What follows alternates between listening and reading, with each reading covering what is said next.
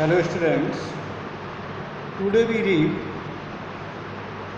the fifth chapter the last leaf the last leaf आज देखोगे आप। द लास्ट लीफ मतलब अंतिम पत्ती means the last hope it means the last hope the last hope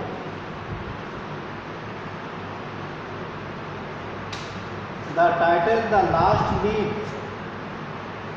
The writer wants to say, the last hope that we have. यानी मुझे अंतिम आशा, यानी मुझे अपनी अंतिम आशा को छोड़ना नहीं चाहिए।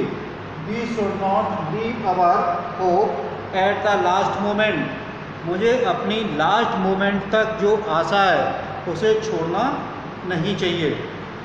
देखिए सू एंड जॉन्सी यहाँ पर इस चैप्टर में Sue and Johnsy are the two artist Sue और जेंसी दो एक आर्टिस्ट हैं. दोनों दोस्त हैं. बोथ आर फ्रेंड्स दोनों ही क्या हैं? दोस्त हैं और दोनों ही एक पेंटर हैं. Both are painter and both are artist Sue और जॉन्सी जो इसके मेन कैरेक्टर हैं. Sue and Johnsy Sue and Johnsy. Sue and Johnsy. Are the two friends. Sue और जॉन्सी यहाँ पर दो दोस्त हैं, जो आपस में क्या पेंटर हैं और दोनों ही पेंटर हैं। देखिए, Sue and Johnsy live at the top of a building with three floors. दोनों दोस्त एक टॉप बिल्डिंग है थ्री फ्लोर्स की, उसके टॉप पर रहते हैं। जो सबसे ऊपर वाली जो बिल्डिंग है, सबसे ऊपर वाली जो मंजिल है, जो फ्लोर है, उस पर ये दोनों रहते हैं। Both friends Sue and Johnsy lived on the top floor of the three stories building तीनों, जो दोनों हैं, वो तीन स्टोरी की जो बिल्डिंग है, उसके सबसे अंतिम फ्लोर पर रह रही है।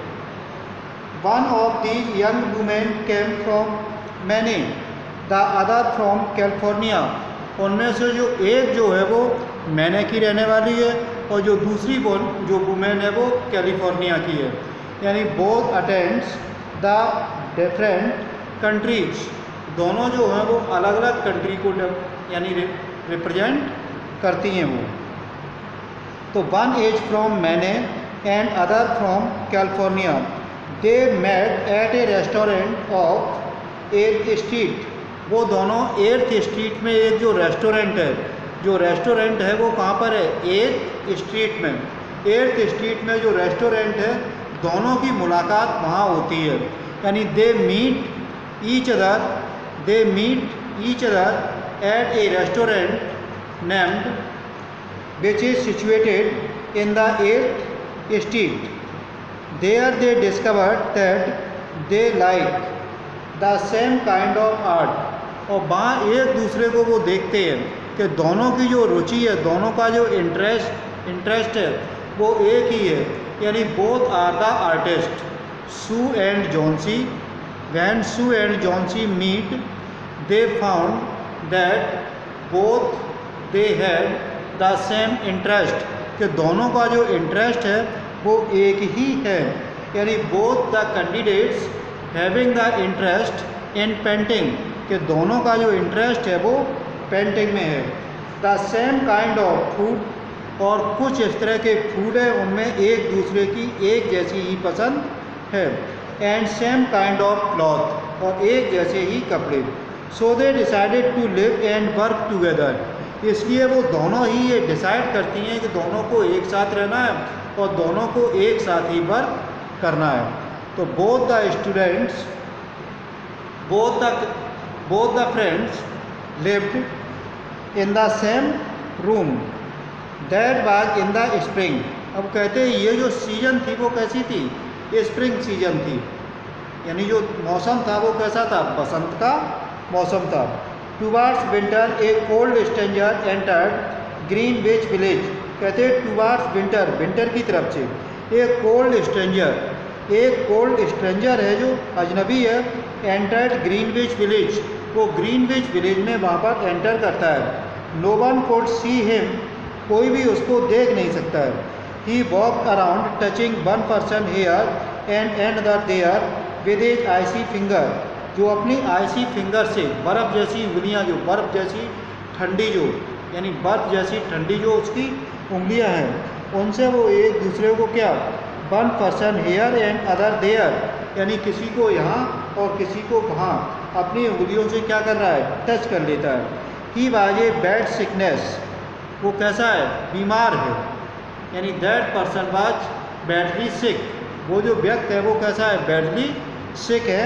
बुरी तरह से बीमार है। Doctors called him pneumonia doctors ने बताया बताया है कि he is suffering from pneumonia कि जो वो व्यक्त है, वो किससे है? सफरिंग फ्रॉम निमोनिया निमोनिया से पीड़ित है। On the east side of the city he hurried touching many people but in the narrow streets of Greenwich village he did not move so quickly अब जब वो ग्रीनविच विलेज में जब आ गया तो वहाँ से वो फिर दूसरी जगह पर क्विकली यानी मूव नहीं कर पाया। He is unable to move from this place अब वो यानी इस लायक नहीं था कि वो उस प्लेस से, यानी ग्रीनविच विलेज से वो दूसरे जगह पर जा सके। यानी वहाँ से वो मूव नहीं कर सकता था। तो वो कहता है, मिस्टर निमोनिया, मिस्टर जो निमोनिया है was not a nice old gentleman ये कोई अच्छे जेंटलमैन नहीं थे। A nice old gentleman would not hurt a be little women from California यानी जो व्यक्ति किसी दूसरे व्यक्ति को हर्ट करता है, उसे अच्छा व्यक्ति नहीं कह सकते। यानी one who hurt others is not called a good person एक वो व्यक्ति जो दूसरे को नुकसान पहुंचाता या हर्ट पहुंचाता, उसे हम अच्छा व्यक्ति नहीं कह सकते। ये जो ओल्ड मैन था, वो भी अच्छा व्यक्ति नहीं था। He is not a good person but mister pneumonia touched Johnsy with his old finger लेकिन मिस्टर निमोनिया ने, इसका नाम ही है mister pneumonia. Touched Johnsy with his old finger अपनी ठंडी उंगलियों से जॉन्सी को उसने टच किया।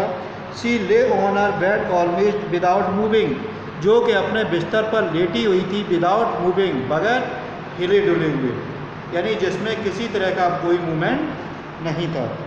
One morning the busy doctor spoke to Sue एक दिन जो जो उनका जो डॉक्टर आता था सू और जॉन्सी तो जो जॉन्सी बीमार थी तो उसने बताया कि जो यानी डॉक्टर आता था, उसने सू को बताया एकांत में ले जाकर where Johnsy could not hear जहाँ से जॉन्सी सुन ना सके। यानी जो जॉन्सी थी, वो बैडली इल थी और अपने बिस्तर पर पड़ी हुई थी। और जो डॉक्टर आता था डॉक्टर ने सू से कहा और उसे एकांत में ले जा कर के जिससे कि जॉन्सी डॉक्टर की बात को ना सुन सके।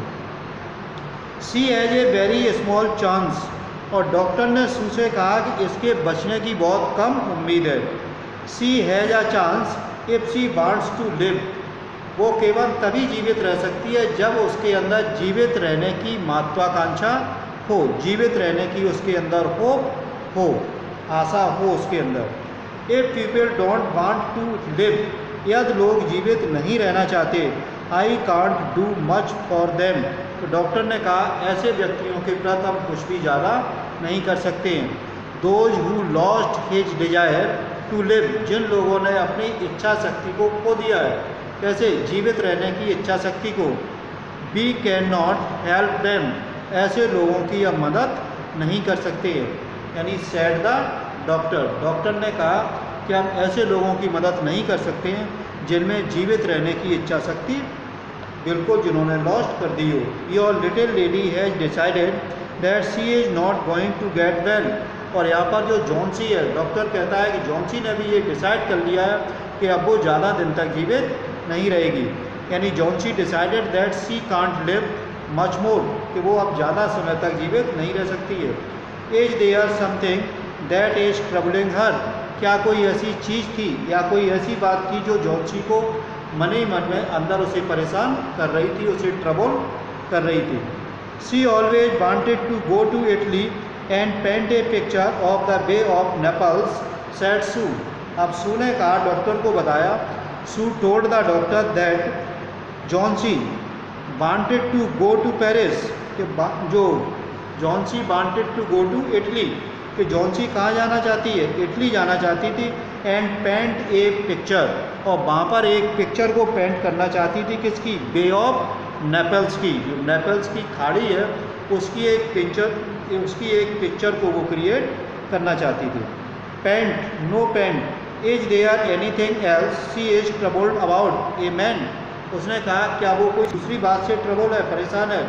उसने कहा a man said Sue is a man worth no doctor there is not a man उसने कहा, उसकी लाइफ में कोई भी मैन नहीं है, जो उसको यानी परेशान कर सके. It is weakness said the doctor doctor ने कहा, उसके अंदर ये क्या है? वीकनेस है, उसकी कमज़ोरी है।